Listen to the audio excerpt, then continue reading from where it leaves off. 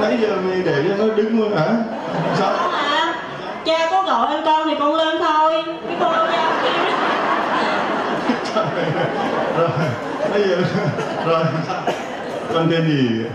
Dạ con à, Quách Nhân Tài ở à, Long Mỹ, Hậu Giang. rồi con à, là tài con là chồng của cô này phải không? Rồi con làm chứng cho chúa được ơn gì? Dạ con được ơn mới đây thôi, cách tổng cộng cỡ hơn năm nay. Rồi con mới 17 tuổi thì con bị à, viêm mổ tử, rồi bị lép cuốn cuốn bao tử, rồi gần lũng luôn á cha. Rồi à, con bị cực thân sống luôn á. Mà con chỉ biết như tiền không hết. Nhưng mà con mới được nhập ư Chúa, kính bắp gì Chúa thì con hết. Đi cho là được ba lần, năm lần hết. em đến đây mấy lần Dạ năm lần. đi chung với vợ dạ con đi với công đoàn với chung với vợ với cô văn đi với ai cô cô này hả? rồi mời con lên đây. Dạ. Còn em chín nữa không có đâu rồi. Rồi con bị bệnh đâu thử là bao nhiêu năm bao nhiêu tuổi?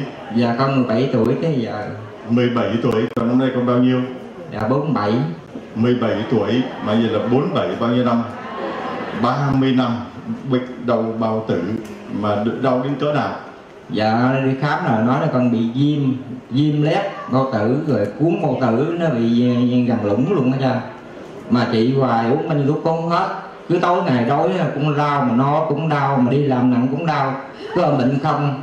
Mà con chịu gắng đựng tới hôm nay con lên được đất đồng nai này con mặn được, con gặp mấy cô.